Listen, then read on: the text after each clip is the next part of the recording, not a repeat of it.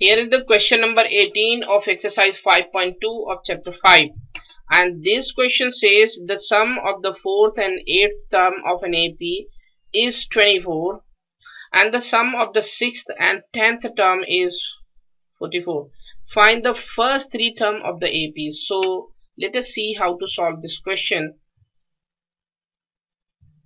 Let's see how to solve this question. Let A be the first term and D be the common difference of the given AP. So we know that if A the first term and D is the common difference of this AP. So we can write the fourth term like this A plus 3D and the eighth term like A plus 7D and if we add these two terms we get 24 this is given in the question. Uh, let us solve this one. This is a plus 3d plus a plus 7d equals to 24 and this is 2a plus 10d equals to 24. Now we can divide these all these three terms by 2 to get a plus 5d equals to 12. Let this is the equation number 1 and we are also given that the sum of the sixth and tenth term is 44 so we know that we can write the sixth term like this. A plus 5d and the tenth term like this a plus 9d and if we add these two terms we get 44 this is given in the question.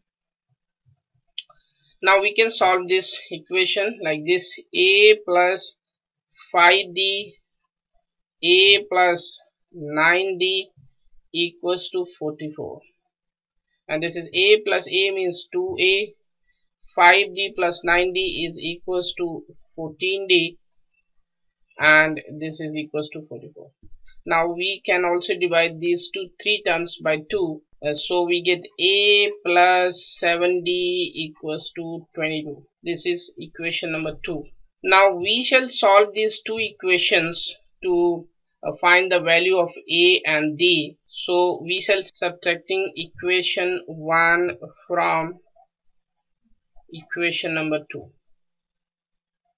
We get A plus 7D minus A plus 5D. We shall subtract 12 from 22. What we get?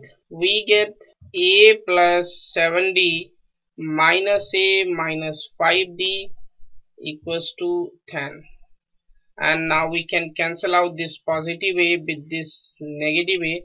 And we can subtract this 5d from 7d we get 2d equals to 10 and therefore d is equals to 5 now we shall put this uh, value of d in equation 1 to get the value of a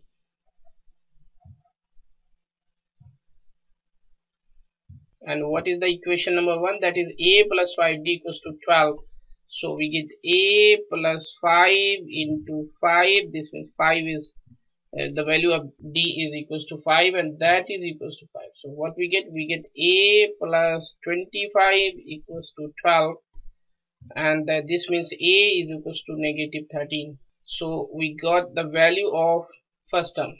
Therefore we can write the AP like this. We write first term and we add common difference to find the second term. Therefore we get minus 13 plus 5 and third term we get by adding twice of the common difference to the first term. That is minus 13 plus twice of common difference and many more terms. So this is equals to minus 13 minus 8 and minus 3 and some other terms. This is the solution of the question. Thank you